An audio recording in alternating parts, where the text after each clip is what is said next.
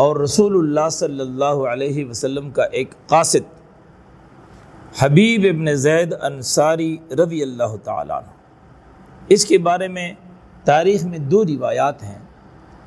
एक रिवायत तो ये है कि हबीब इब्न जैद अंसारी रज़ी अल्लाह तु को रसूलुल्लाह सल्लल्लाहु अलैहि वसल्लम ने बाकायदा अपना कासिद बना कर के मुसलम कज़्ज़ाब के पास भेजा। और एक रिवायत ये भी है कि हबीब इब्न जैद अंसारी उम्मान की तरफ़ गए हुए थे, उम्मान से वापस आ रहे थे तो रास्ते में मुसलम कज़ाब के इलाके से गुज़र हुआ तो इन्होंने गिरफ़्तार कर लिया। बहरहाल जो भी सूरत हो, हबीब बिन जैद अंसारी रदी अल्लाह तहों को मुसलम कज़ाब के सिपाहियों ने गिरफ़्तार किया और मुसलम कज़ाब के सामने पेश किया गया।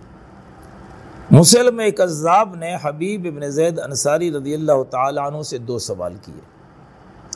पहला सवाल ये किया, अतशहद मोहम्मद रसूलुल्लाह?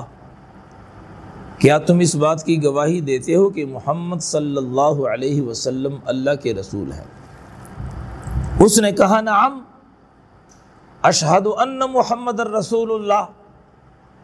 हाँ मैं गवाही देता हूँ कि मोहम्मद सल्लल्लाहु अलैहि वसल्लम अल्लाह के रसूल हैं। उसने दूसरा सवाल किया, अतशहद अन्नी रसूलुल्लाह? क्या तुम इस बात की गवाही भी देते हो कि मैं अल्लाह का रसूल हूँ? हबीब इबन जैद अंसारी रज़ी अल्लाह ने जवाब दिया, फ़ी उदुन वक़रा मिन सम हादल कौल। तेरी ये बात सुनने से मेरे कान आजिज़ हैं। और ये सवाल और जवाब जो है इस वक्त जो माहौल था, उस माहौल का इस्तेजार ज़रूरी है कि हम मुसलमानों को बताएँ कि माहौल क्या था। अभी तो आप कराची में बैठ कर के जी मुफ्ती इम्तियाज़ को कुछ भी फेसबुक पर कह दें तो भाई आपका क्या पता चलता है कि कौन हो, कहाँ से बोल रहे हो। व्हाट्सएप पर किसी को भी कोई गाली दो। दड़ किसी और का, सर किसी और का लगा के आप तस्वीर कर सकते हो। माहौल क्या था? माहौल ये है कि रसूलुल्लाह सल्लल्लाहु अलैहि वसल्लम का ये आशिक हबीब इब्न जैद अंसारी रज़ी अल्लाह तहो तने तनहा। अकेले बेयारो मददगार, हाथ पीछे बंधे हुए हैं और ये वहाँ खड़े हैं। चारों तरफ़ मुसलम कज़ाब के मुसल्ला पहरेदार हाथों में नंगी तलवारें लेकर के खड़े हैं। ये माहौल है। माहौल का इस्तेजार ज़रूरी है। तो फिर नबी के सहाबा रिजवान मजमैन की बहादरी और उनकी आज़मत का भी पता चलता है कि उन्होंने दीन के लिए कितनी जुर्रत का मुजाहरा किया है।